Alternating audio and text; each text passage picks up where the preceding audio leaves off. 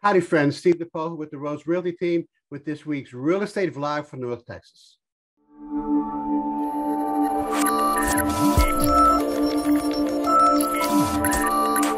Before we get started, we ask you to go to YouTube and subscribe to our YouTube channel, Let's Do Real Estate Texas.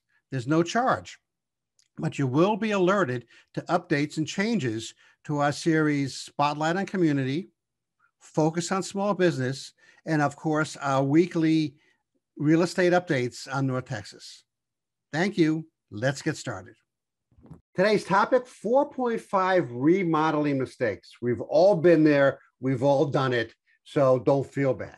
But before we get started, hey, just a reminder starting on Monday at 8 o'clock, 8 a.m., 8 o'clock Central Time in the morning, um, I'm going to be doing a, uh, a Facebook Live session every Monday at 8 um, about the topic that we covered on my vlog the week before, okay, the, the Friday before.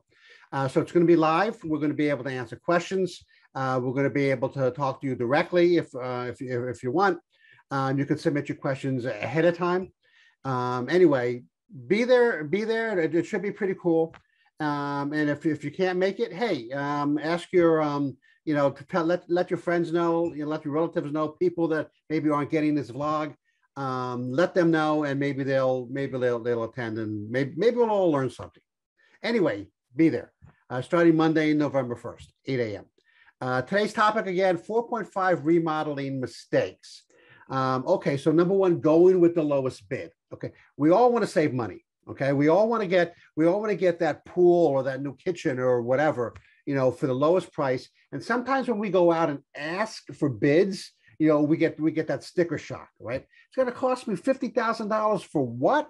It's going to cost me how much for a pool? You know, whatever. Okay. And so you go with the lowest bid thinking, eh, I could save a couple of dollars. Hey, you know, let me let, let, let me tell you, when we we we, we built when we first came to Texas, we built a house, we built a house in Flower Mound, right? And they wanted to know whether we wanted this, um, we, we wanted we wanted this aggregate driveway. That's the driveway with the like the little, you can see the little stones, right? And that was going to cost us an extra five grand. And I said, no, no, no, we'll do it. We'll do it sometime later on not thinking in my stupid brain, right, that in order to do it sometime later on was going to cost me probably $30,000 to rip up the old driveway and put down the new one instead of just paying five grand up front. Stupid Steve, you know. So he was he was uh, penny wise and pound foolish. Okay, never got the driveway, by the way. So just in case you're wondering, right? Uh, double check the scope. Okay, double check the scope that the contractor or subcontractor knows exactly what you want check out their experience, right? And subcontractors can reduce costs.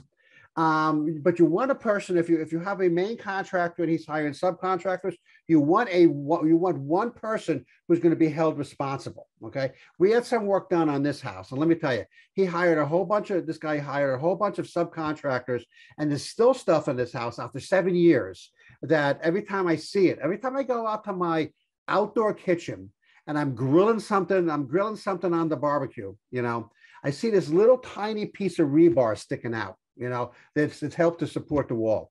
And I'm thinking uh, it, it just it just chaps at me, you know.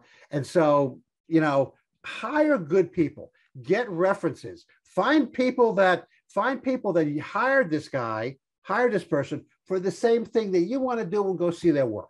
Okay. Check the BBB for any complaints against them, etc. Okay. But don't just go with the lowest bid. It could get you into trouble. Uh, improvements that, that improvements to your house that improve your ROI. Okay. So check, check with an agent or an appraiser that if you're going to put this in the house, okay, it's going to add, it's going to add value. Okay. Make sure you don't price yourself out of the market, out of, out of the neighborhood either. Okay. And, um, and will will the will the market value of your house change at all? We always want the market value of your house to be increasing.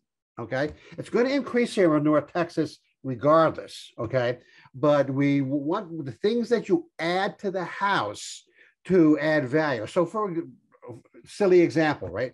If you've got tile, if you got tile floors, and you're trying to decide whether you want to go with hardwood or linoleum, okay, which is going to add value to your house. Well, the linoleum might add some value because it looks nice for about a day and a half, okay, But then the hardwood, even though it's more expensive, is going to add more value, okay, to, to your house in the long run. Now, if for some reason you need the linoleum, for example, again, with this house here, when we bought this house, the previous tenant um, had a physical um, issue and was in a wheelchair. So, so the linoleum was actually uh, benefited him um, and that he wasn't, you know, you know, constantly rolling over seams and that kind of stuff. Okay, so that benefited him. Okay, in in in, in the long run. But but you, you know, add stuff to your house. Uh, do make improvements to your house that are going to add value. You can talk to an agent. Give me a call, and I and I have a list of stuff. We've been over it in previous vlogs that uh, can tell you that if you add, you know, a kitchen or or a half bath you know, it's going to add more value to your house than if you change out the handrails going up to the second floor, as an example. Okay. People throw away paperwork and receipts. Don't throw away anything. Well, okay. Don't throw away anything. If you, if you, when you buy your house or you move into a new one and you start adding stuff to it, you add a pool, you add bushes, you add um, uh, hardwood floors, um, you redo your kitchen, etc. Save all those receipts because you can add those to the baseline of your house. Okay. So, as an example, let's say you start off with a $300,000 house. Okay. And um, you add uh, $200,000 worth of improvements. Okay. If you if you keep all of those receipts, now your baseline for the house is 500,000. But if you lose all those receipts or don't keep them, and then your baseline remains at 300,000, and let's say let's say I go let's say I go out and sell that house for you for 600,000. Okay. Your capital gains on that house is only going to be 100,000 if you keep all your receipts. But if you didn't keep your receipts, now your baseline or your capital gains is 300,000. That's a big tax difference. Okay. And with, with this potential perceived tax, um, well, perceived tax charge that the federal government's talking about, you know, you could be you, you could be blown out of the water. Okay. So keep your receipts keep them some keep them someplace. Keep a, a filing cabinet or a um, or a safety deposit box or something where you keep all your receipts so that you can so that you can so that you know what what your baseline is so that you're um, so that you can improve uh, you can you can improve upon that when you when, when you sell.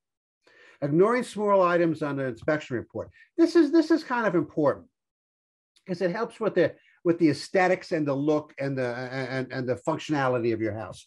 You're going to get as on previous on previous vlogs, we've talked about getting an inspection report. Okay, so you get the inspection report, and as your agent, you know I'm going to try to get as much of that inspection report uh, fixed as we can. Okay, but there's going to be a lot of things that are not going to be that are not going to be um, not going to be repaired on the inspection report. For example, here in North Texas, everybody's caulk on the outside win- uh, on the windows on the outside is is is deteriorated and dried up and peeling away.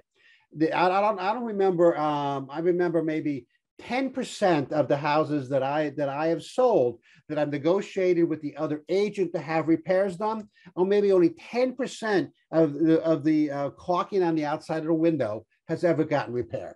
Okay, but so now you don't. So you, so now you moved into your house.